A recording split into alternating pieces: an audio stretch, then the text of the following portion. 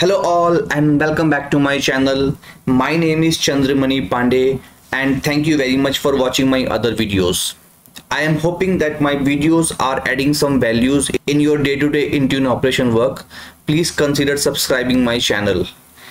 By subscribing you will get access to new videos as soon as they are uploaded and it's a great way to stay up to date with my content and support me at the same time. Let's see how we can register a device in Windows Autopatch service.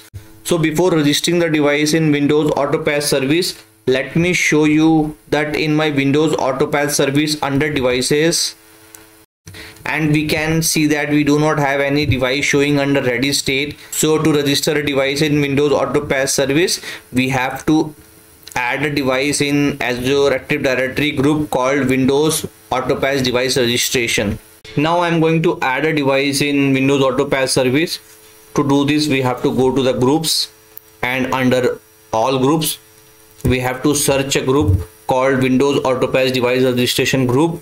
And then we have to add a member in this group. So we can add a device in windows autopatch device registration group in many ways the first way is to use a bulk operation method. Second way is to use add membership. And here we can search for a specific machine and add that machine or we can also add already existing group in this group. So now i am using manual method to add test devices in this group. So to do this i am going to search for my test pc and then i am going to select all the machines which i want to add in this group for now i have selected test pc 1 2 3 and 4 and i'm going to click on select and then we have to wait for operation to complete. Now we can see that group membership successfully added four member were added and we have to refresh it. Now we can see that all the test devices are successfully added in the windows autopatch device registration group. Now we have to go to the devices again and under windows autopatch we have to go to devices.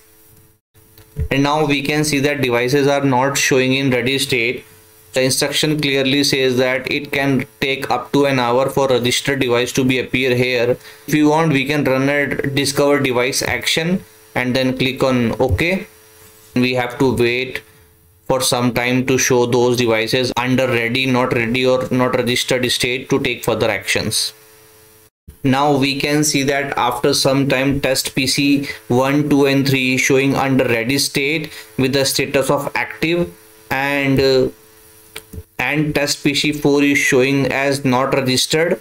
And if you want to know the reason why machine is not registered in uh, autopatch service we have to click on that machine. And it's going to show the detailed information. And if you want to enroll test pc4 in windows autopatch service we have to first fix these issues. I hope this is an informative video for you. Thank you very much for watching this video